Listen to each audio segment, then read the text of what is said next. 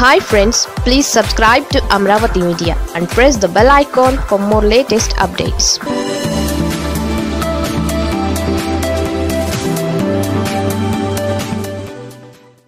Amaravati అంశం క్లైమాక్స్కి వచ్చినట్లేనా? ఏపీలో అత్యంత వివాదాస్పదమైన అంశం అమరావతి రాజధాని. తెలుగువారి ఆత్మగౌరవానికి ప్రతీకగా నిలవాలన్న ఉద్దేశంతో గత ప్రభుత్వం ఇక్కడ రాజధాని ఏర్పాటు చేసింది. వేల కోట్ల రూపాయలు వెచ్చించి ప్లాన్లు కూడా రెడీ చేసింది. అయితే ప్రభుత్వం మారిపోయింది. దీంతో బాధ్యతలు చేపట్టిన వైసీపీ అధినేత జగన్ రాజధానిపై రివర్స్ అయ్యారు. మూడు రాజధానుల జెండా ఎగరేశారు. దీంతో రాజధానిగా అమరావతి కావాలంటూ పెద్ద ఎత్తున ఇక్కడ రైతులు డిమాండ్ చేస్తున్నారు. మూడు రాజధానులపై హైకోర్టులో కేసులు కూడా పడ్డాయి. అయితే ఈ కేసులు ఎప్పటికప్పుడు నాలుగడుగులు వెనక్కి అన్న చందంగా సాగుతున్నాయి.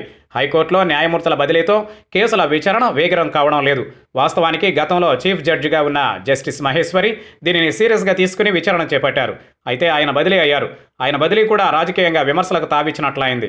అంతేకాదు విచారణ సందర్భంగా అప్పటి చీఫ్ జస్టిస్తో పాటు కొందరు జడ్జీలు చేసిన వ్యాఖ్యలు వాటికి అనుగుణంగా ఇచ్చిన తీర్పులపై జగన్ అప్పటి supreme court chief justice S A బాబ్డేకి ఫిర్యాదు చేయడంతో దేశంలో సంచలనమైంది.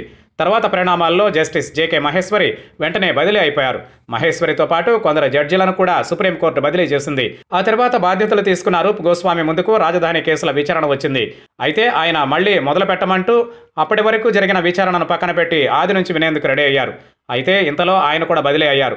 దాంతో కొన్ని రోజుల క్రిందట బాధ్యతలు తీసుకున్న చీఫ్ జస్టిస్ ప్రశాంత్ కుమార్ ముందుకు విచారణ వచ్చింది.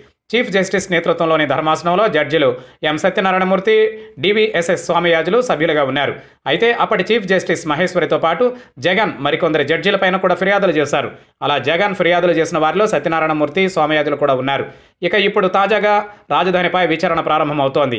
ఇప్పటికే చాలా కాలంగా పెండింగ్లో ఉన్న ఈ విచారణను పదిహేనవ తేదీ నుంచి హైబ్రిడ్ పద్ధతిలో హైకోర్టు ధర్మాసనం విచారణ మొదలుపెట్టబోతోంది. ఇప్పుడు రోజువారీ విచారణ ప్రారంభం కానున్న నేపథ్యంలో ఏం జరుగుతుందో అనేది ఆసక్తిగా మారింది. ఇప్పటి వరకు ఉన్న అంచనాల ప్రకారం కేంద్రం రాజధాని అంశం రాష్ట్రాల పరిధిలోనేదని పేర్కొంది. ఈ నేపథ్యంలో ఈ విషయంలో హైకోర్టు కూడా ఎలాంటి ఆదేశాలు జారీ చేసే పరిస్థితి లేదు. ఇక రైతుల నిరసనలు వారికి గత ప్రభుత్వం ఇచ్చిన హామీలు ఇలా కొన్ని ఆర్థికపరమైన అంశాలు ఇప్పుడు ప్రధానంగా చర్చకు వస్తున్నాయి. వీటి విషయంలో హైకోర్టు చేసే ఆదేశాల మేరకు జగన్ సర్కార్ తీసుకున్న మూడు రాజధానుల విషయం ఆధారపడి ఉంటుందని నిపుణులు పేర్కొంటున్నారు. మరి ఏం జరుగుతుందో చూడాలి.